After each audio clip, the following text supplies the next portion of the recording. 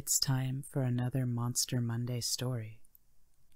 Once again, this is part of a series of challenges, or prompts, done on Pixelwulllf's Twitch channel. The prompts this time were from Attilia97. The words were scales, fat, hungover, fangs, thorns, tired. Once more, if you're listening to this on the YouTubes, please do make sure that you check for the trigger warnings below the fold.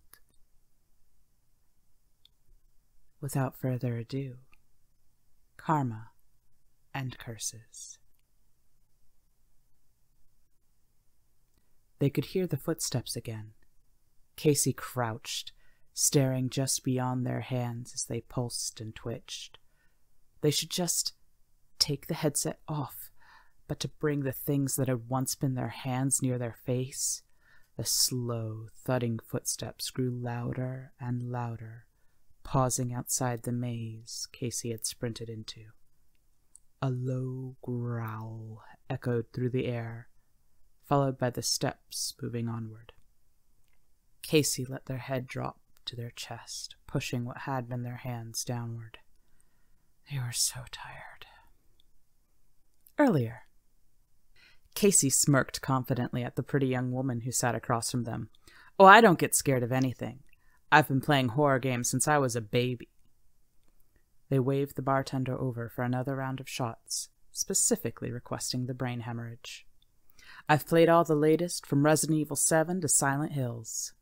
The woman smiled at Casey, perfect white teeth shining in the dimly lit bar. Then I think you'd be perfect to test our new game. We've done everything except playtesting. We've tried, but none of our playtesters have done anything but scream when we pull them out. It's hard to get feedback that way. Casey wiggled through the low brush in the maze, army crawling as best they could through the sharp thorns that tore at their mud-stained clothing. They could feel a pounding in their head. Had it been long enough in the outside world that a hangover had started to kick in? It was hard to tell. Ahead, one of the things attached to their arms hissed and snapped at something in the undergrowth, and a moment later something began to slide up his arm, a fat bulge that pushed the skin out in every direction. A whimper escaped Casey's mouth, and they continued to try and cut through the maze by working their way underneath the thorns. So what's this game called, anyway? Casey asked the woman as they went inside the large building. They'd pestered her until she'd agreed to let them try it out this very instant.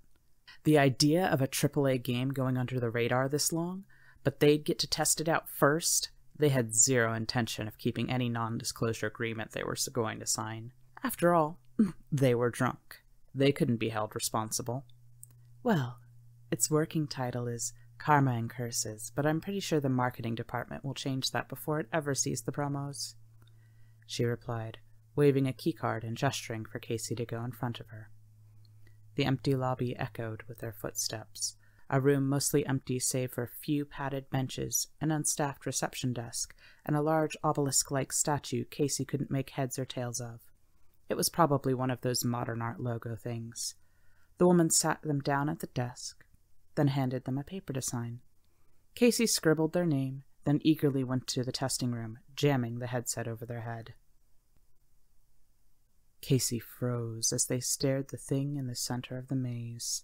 A massive figure wielding a pair of scales balancing trays the size of a horse drawn cart stood in a river of twisting, grasping hands. Their head was like a vast crocodile, a lion's mane of limbs flowing to cover their chest. On the other side, Casey could see something that gave them further pause. Their hands, their real hands were balanced, as if in prayer, close enough that they could make out the ring that they wore to keep off the creeps when they went bar hopping. Casey looked down at where they had been, and the twisting, turning maws whipped upward as if drawn by the sight, their fangs extending out towards them. Behind them, the footsteps grew louder once more. Casey was bored. What was supposed to be scary about this? It was some sort of rural village, clearly modeled after some sort of third world desert people. Ancient times, maybe? though a huge tangle of briars rested right on the edge of the vast river that was visible no matter where they'd gone. They'd stopped paying attention to where they were going and accidentally bumped into one of the various NPCs wandering around. They'd fallen over backwards, and as Casey turned to watch, they noticed that the person was gasping, having landed on a butcher's hook. Casey couldn't help but snicker. Oh, you can die, huh? They paused. Perhaps that's what I'm supposed to be doing? A reverse monster sort of thing? They grabbed a nearby cleaver and began to stalk the town. The people seemed to die more and more comically each time, with the last one letting out a classic Wilhelm scream. Well, that was kind of funny at least. The words died in their throat as a rushing sound came from where the body had fallen, a green black glow flowing into the shape of a bird with a long, sickle like beak, which whipped forward, slicing their hands off before they could react. It seized them in its talons, flapping away. Casey waited for the game over screen, but instead, the severed stumps began to twitch, and teeth like a hagfish began to explode out into long, lethal looking fangs. The more they looked at them, the worse they got, twisting and twitching towards Casey's face. Ah! They stumbled backwards and looked around frantically for a moment. W wait, it's just a game. All I have to do is take the headset off. They began to raise their arms, only for the stumps to lash out towards their face, blood pooling from them as the flesh cracked to let the jaws expand. Okay, okay, bad idea, bad idea. They heard a noise behind them and saw an approaching figure. A lean hound head on the body of a man walked towards them, one hand swishing a flail, each tail of the weapon beaded with tiny human metal heads. It spotted Casey and turned, jaws opening to reveal a lupine grin, and in a gait that had to be a tribute to Pyramid Head, began to stroll towards them. Casey looked at where the jackal headed man was, then to where the crocodilian figure was in front of them. They ran forward, now in a blind panic, grasping at the plate of the scales nearest to them as best they could with the aggressive remains of their arms. The chains that held it creaked, hands reaching up from the river to grasp at them. Casey struggled desperately on the golden platter and let out a sigh of relief as it began to even out with the other. From this vantage point, they could see a doorway beyond, a shining blue portal that was surely the exit to victory.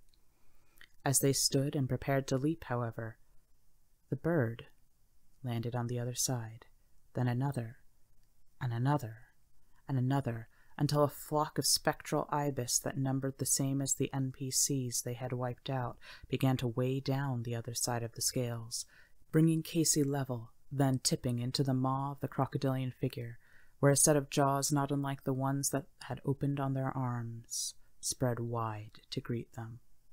I hope you enjoyed that. Today's art is by Liberty Yanaga, or Liberty Loves. You can find her at the website linked below. I hope